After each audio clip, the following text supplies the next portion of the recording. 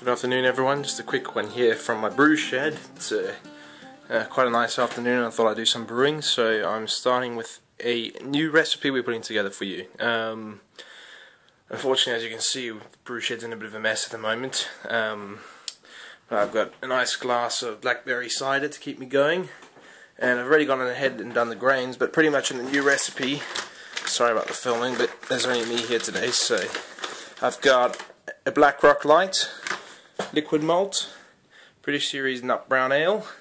Let's have a flip around here, see what I can find. Okay.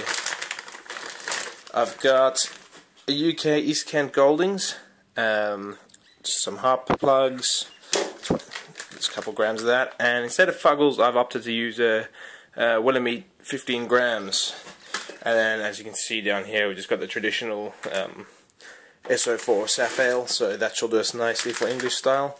What we're trying to make is a bit of a Scotch Ale, but I've taken a bit of a different approach, using some more, I wouldn't say flamboyant, but different ingredients. If you have a look in the pot there, I've got my temperature being monitored.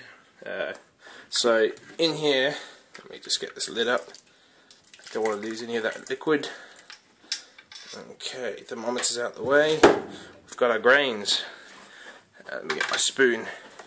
So in this pot we've got uh, 50 grams of black black grain, uh, 250 grams of caramel grain, and 200 grams of chocolate grain. So that should give us some really nice malty flavors. So we're looking predominantly at the caramel flavors, but a little bit of a hint of coffee can't hint, can't hurt. Um, and that's pretty much what I'm doing. I don't think I'm going to do much more video, just thought I'd let you know, but I wish you could smell what it smells like in here. It smells absolutely fantastic.